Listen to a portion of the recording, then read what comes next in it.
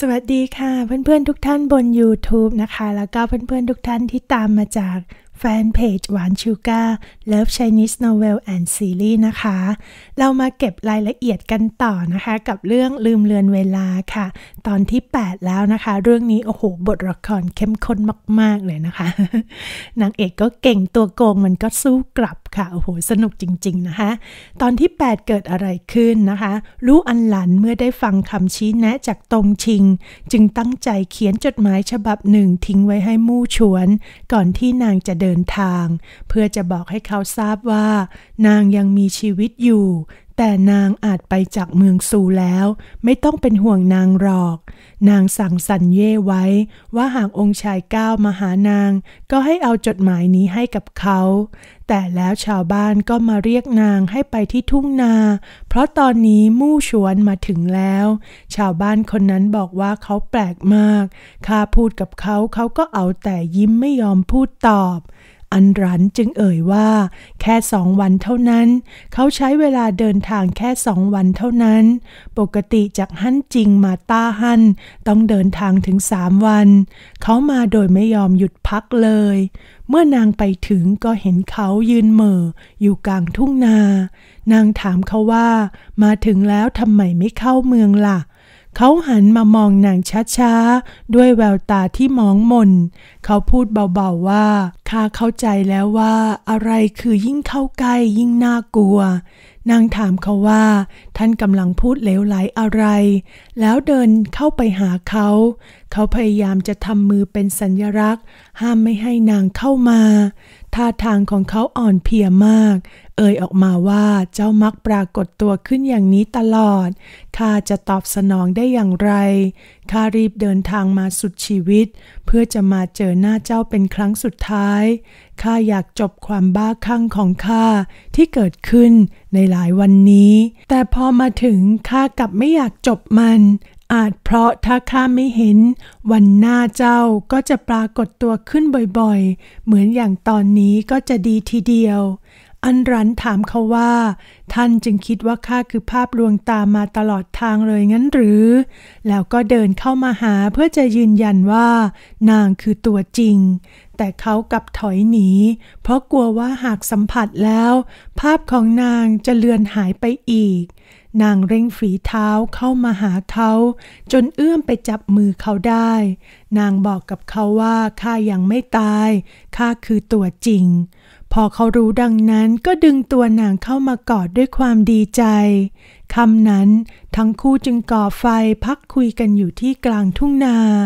อันหลันจัดการปิ้งปลาให้เขาตัวหนึ่งเพื่อคลายหิว เขาก็รับมาทานอย่างดีอกดีใจ แล้วถามนางว่า พิษในตัวนางเป็นอย่างไรบ้าง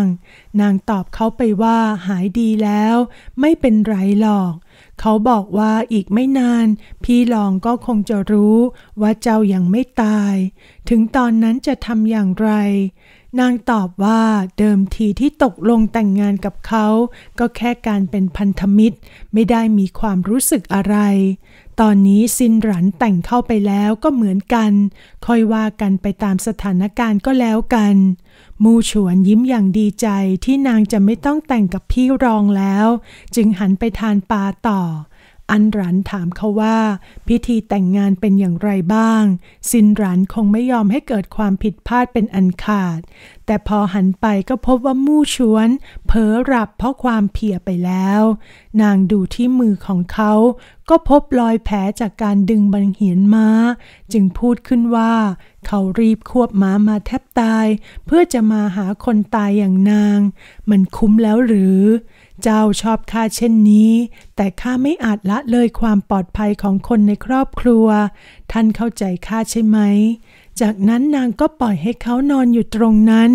ส่วนนางก็รีบกลับมาเก็บข้าวของ เพื่อจะออกเดินทางไปต้านโจ กับเรือรอบเร็วสุดของพรุ่งนี้เช้า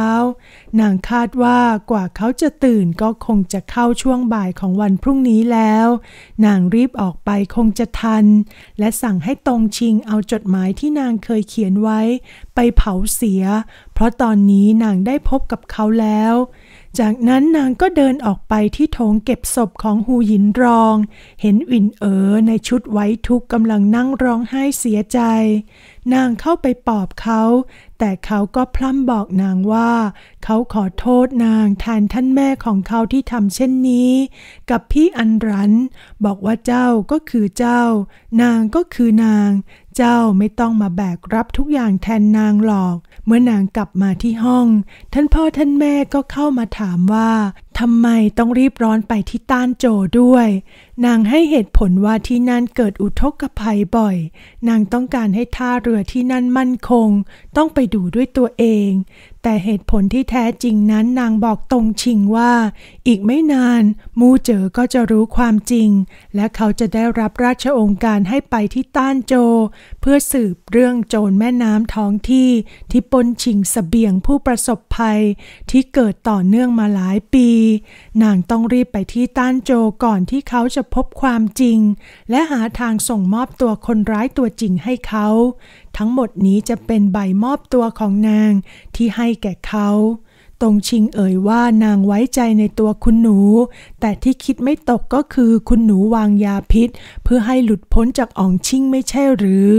นางตอบว่าไม่ช้าหรือเร็วข้าต้องสลัดเขาให้หลุดพ้น แต่ตอนนี้ต้องอาศัยเขา เข้าจวนอ๋องอย่างถูกทำนองคองทำแล้ว และข้าก็จะมีโอกาสหากุญแจที่จะช่วยสกุลลู่ได้ วันต่อมาที่นางคิดไว้ก็ผิดคาด พอมูฉวนตื่นขึ้นมาในกลางดึกดื่นนั่นเอง พอรุ่งเช้าอันรันรีบออกเดินทางกับตรงชิง พอนางอำลาท่านพ่อท่านแม่เสร็จกำลังจะก้าวขึ้นรถม้า ก็พบมู่ฉวนนั่งรออยู่ในรถม้าแล้ว เขาบอกนางว่าข้าถามซันเย่แล้ว เจ้าจะขึ้นเรือรอบเช้าที่สุดไปต้านโจข้าเองก็บังเอิญจะไปต้านโจพอดี ท่านคงไม่ตันหนีให้ข้าร่วมทางไปด้วยหรอกนะ อันหลานหันไปมองสันเย่ที่ยืนสำนึกผิดอยู่นอกรถม้า แล้วก็ต้องยอมให้มู่ชวนเดินทางไปกับนาง ระหว่างทางเขาแบ่งขนมให้นางกิน เพื่อเป็นค่าเดินทาง นางเองก็หยิบขนมมาทานพร้อมๆกับเขาอย่างเต็มใจทางด้านมู่เจ๋อก็ส่งองครักษ์ของเขา มาสืบการตายของอันรันถึงเมืองซูแต่เมื่อมาถึงกับพบว่าคนที่ตายคือฮูหยินรอง จึงสอบถามความจริงจากลู่ชิงโจ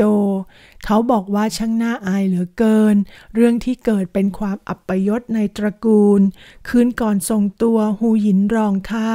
วางยาพิษอันรัน หวังช่วงชิงตำแหน่งชายาให้แก่ซินรันตอนนั้นอันรันเรือเพียงลมหายใจสุดท้ายพวกเขาไม่รู้จะทำเช่นไร ไม่อาจขัดขืนต่อพระราชองค์การได้ จึงจำต้องให้ซินรันแต่งเข้าจวนอองแทน แต่นับว่าโชคยังดี ได้หมอพเนจรมาช่วยรักษาพิษให้อันรัน จนนางหายดี ตอนนี้นางเดินทางไปที่ต้านโจแล้ว และยื่นซองจดหมายฉบับหนึ่งให้องครักษ์รบกวนเขานำกลับไปให้ท่านอ๋องอีกครั้ง นี่เป็นสิ่งที่อันรันฝากไว้ให้ เมื่อท่านอ๋องดูแล้วจะเข้าใจทุกอย่าง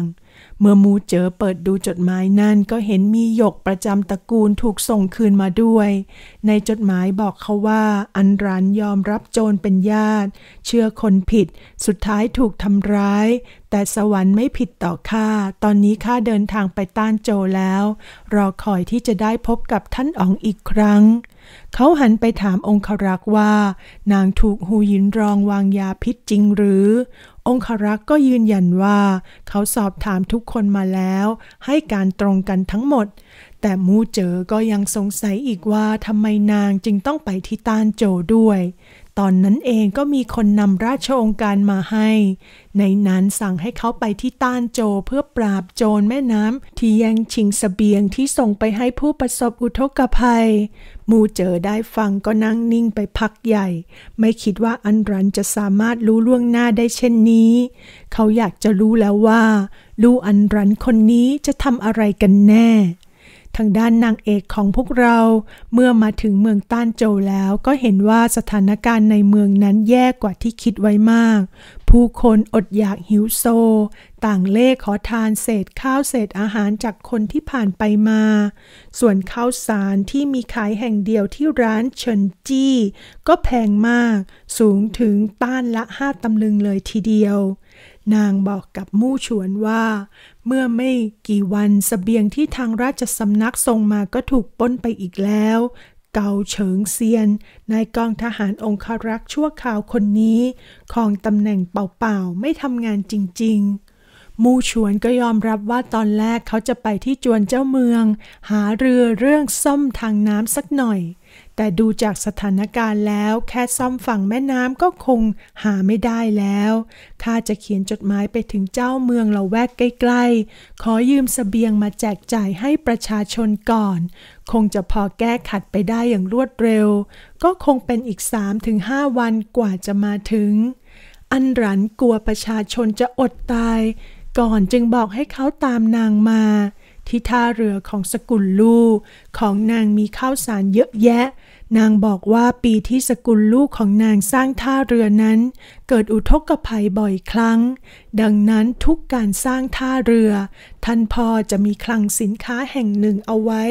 กักตุนอาหาร เพื่อไม่ให้คนงานได้หิว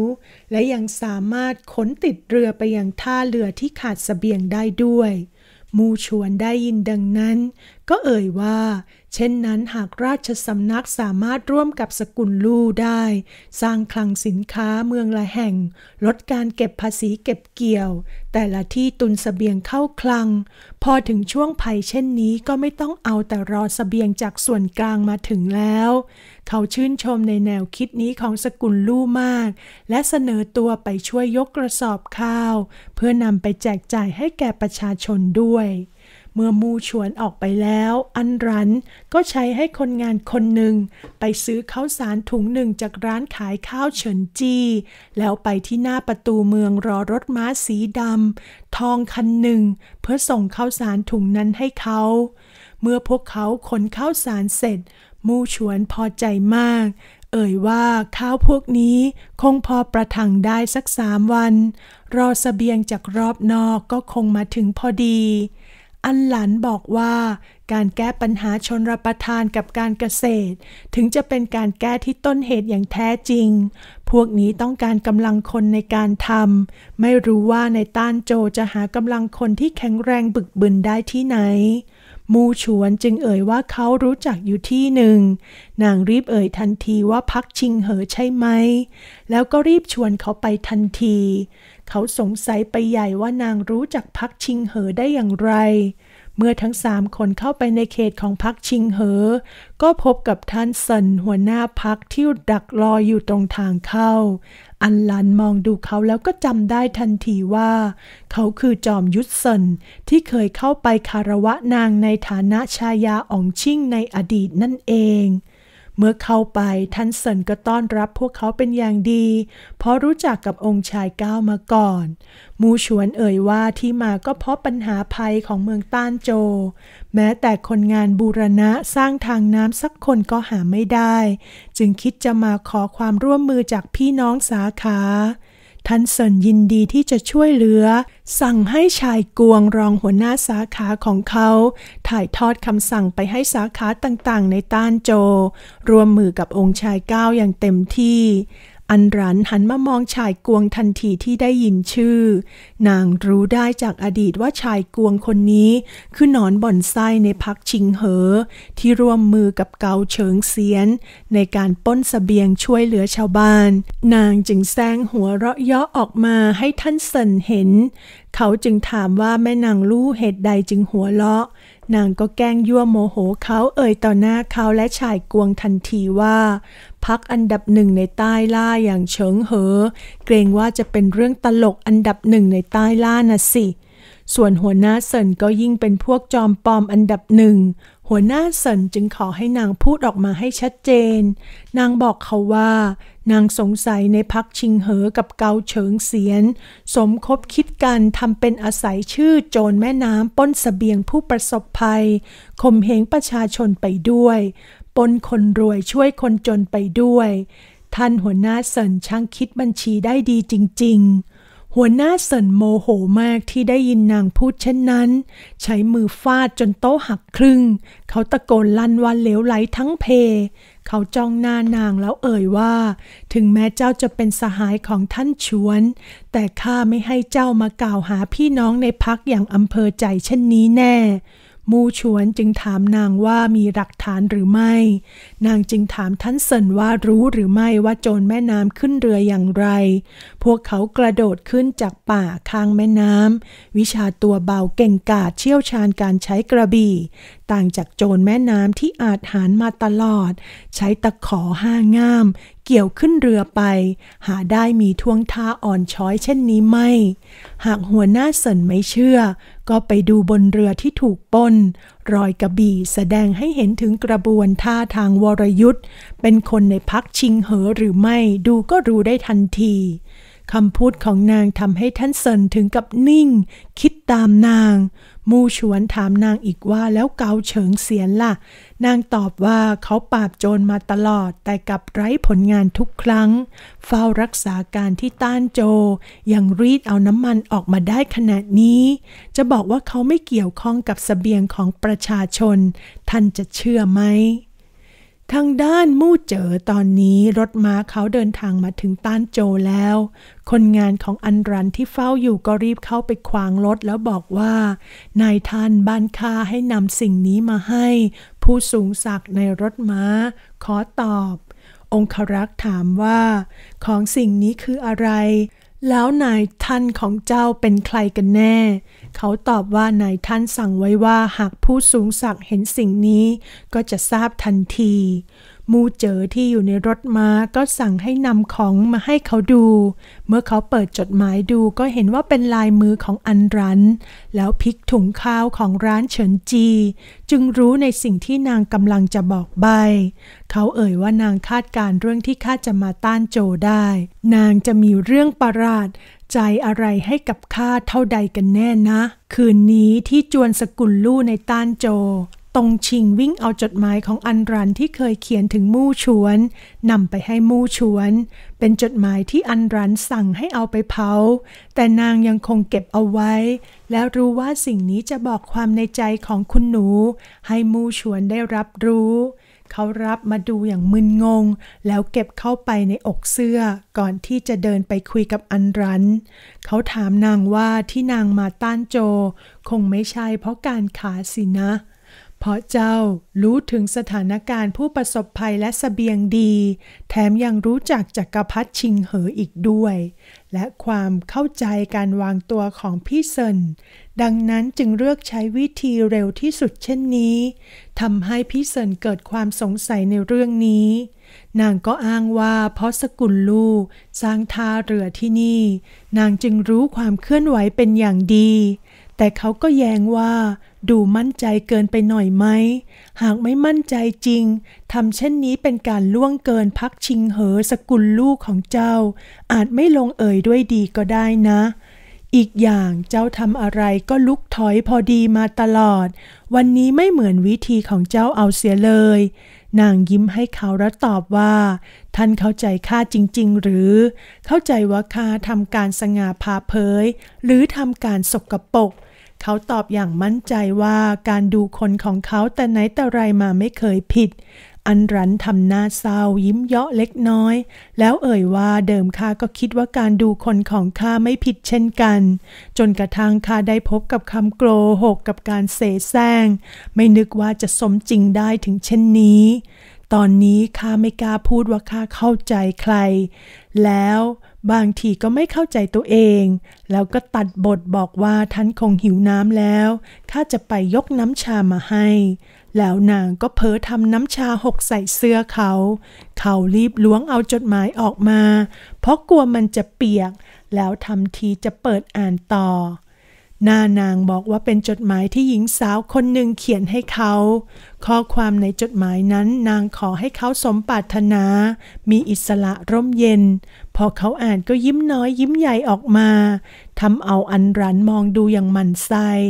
เขากลับมานั่งข้างนางแล้วเอ่ยว่านางน่าจะพูดถูก เราจะไปเอ่ยได้ว่าเข้าใจคนอื่นได้ทั้งหมดคงไม่ได้ แม่นางที่เขียนจดหมาย พูดจาไพเราะเช่นนี้เชียว หรือช่างทำให้คาดไม่ถึงเลยจริง ๆ อันรันไม่รู้ว่านั่นคือจดหมายของตนเองนางจึงพูดประชดไปว่า ไม่นึกว่าเขาจะชอบฟังคำพูดที่ไพเราะด้วยทำให้ข้าคาดไม่ถึงเหมือนกัน เขาก็บอกว่ามีใครไม่ชอบฟังคำพูดที่ไพเราะบ้างล่ะ โดยเฉพาะการพูดต่อหน้า แล้วหันไปมองที่จดหมาย เอ่ยว่าคำพูดที่ล้ำค่าไพเราะทุกตัวอักษรเช่นนี้ ในแต่ละคำก็เผยความจริงใจออกมาให้เห็น อ่านแล้วทำให้รู้สึกอบอุ่นจริง ๆ นางจึงเอ่ยว่า พอองค์ชายเขินขึ้นมา ก็ไม่ต่างจากบุรุษอื่นจริง ๆ เขาก็ยิ่งยั่วโมโหนางเข้าไปอีกว่า อยู่ต่อหน้าความห่วงใยความจริงใจเช่นนี้ ใครจะอยู่เฉยได้อีก อันรันจึงบอกให้เขาอยู่กับตัวอักษรที่รำคาและจริงใจต่อไปเถอะ นางไม่กวนเขาแล้ว ว่าแล้วก็รีบลุกจะเดินหนี แต่เขาก็แกล้งเรียกชื่อเพื่อที่จะยั่วโมโหนางอีกว่า จะรีบไปไหนหรอข้ายังอยากจะแบ่งปันจดหมายฉบับนี้ ให้เจ้ารับรู้ด้วย แต่นางก็หันมาต่อว่าเขาว่า ความจริงใจของผู้หญิงจะมาเป็นข้อสนทนาระหว่างท่านกับข้าได้อย่างไร นี่มันร่วงเกินจริง ๆ ว่าแล้วก็สะบัดหน้าเดินออกไปทันทีทำเอาเขาแอบยิ้มตาม และรำพึงออกมาว่า แม่นางที่เพิ่งผ่านการปักปิ่น พูดจาเป็นผู้ใหญ่ขนาดนี้ซะด้วย แล้วก้มมองจดหมายด้วยความอิ่มเอมใจอีกครั้งทางด้านทันเซนเขากลับมาคิดถึงคำพูดของอันรันที่บอกเขาว่า เขาจะปิดหูปิดตาก็ได้ แต่ราชสำนักคงไม่ให้ต้านโจป่วยนานหรอก ฮั่นจริงจะมีคนมาตรวจสอบให้ถึงที่สุดแล้ว ถึงตอนนั้นหากเกาเฉิงเสียน ยืนกลานว่าพักชิงเหอเป็นคนที่อยู่เบื้องหลัง หากท่านไม่คำนึงถึงตัวเอง ก็น่าจะคำนึงถึงพักชิงเหอ ชีวิตคนมากมายเช่นนี้ด้วย เขาถามนางอีกครั้งว่าแน่ใจหรือว่าเกาเฉิงเซียน ขโมยสิ่งที่ตัวเองเฝ้า และนางก็ยืนยันว่านางแน่ใจ ซึ่งตอนนั้นชายกวงก็แอบฟังอยู่ เขาบอกลูกน้องเขาว่าข้าต้องไปหาเกาเฉิงเสียนสักหน่อยแล้ว หากเขาหักหลังเราขึ้นมา ก็คงจะแย่ ดังนั้นเขาจึงเริ่มเคลื่อนไหวในคืนนั้นเลย ทางด้านทันชัยก็มารายงานมู่เจอว่า เขาส่งคนไปสืบมาแล้วข้าวสารในร้านพวกนี้เป็นสเสบียงของผู้ประสบภัยที่เมืองหลวง จัดส่งมาจริง ๆ พวกนั้นร้วนเป็นข้าวเก็บเกี่ยวก่อนในเขตชานเมืองฮั่นจริงไม่ผิดแน่ มูเจ๋อจึงรู้ได้ว่าอันรันต้องการบอกเขาว่า เกาเฉิงเสียนมีส่วนเกี่ยวข้องกับเรื่องนี้ นางชักนำเราให้เข้าใกล้ความจริง ของขวัญที่นางทุ่มเทส่งมาเช่นนี้ มีหรือข้าจะไม่รับ จบแล้วนะคะสำหรับตอนที่ 8 ค่ะ ตอนนี้นะคะก็เป็นการดำเนินแผนการที่นางเอกนะคะ จะไม่ให้สกุลรูเนี่ยถูก ประหารทั้งตระกูลเหมือนกับชีวิตแรกของนางนั่นเองนะคะ แต่เรื่องราวก็ยากมากๆเลยค่ะเพื่อนๆค่ะเดี๋ยวตามหวานไปนะคะ เก็บรายละเอียด ลืมเลือนเวลาในตอนที่ 9 นะคะ ขอให้ทุกท่านมีความสุขมากๆค่ะ รักษาสุขภาพกันดีๆ หวานลาไปก่อนนะคะ คอมเมนต์มาคุยกับหวานได้นะคะ ถ้าใครติดตามชมเรื่องลืมเลือนเวลาอยู่ค่ะ มีความสุขมากๆ หวานลาไปก่อน สวัสดีนะคะ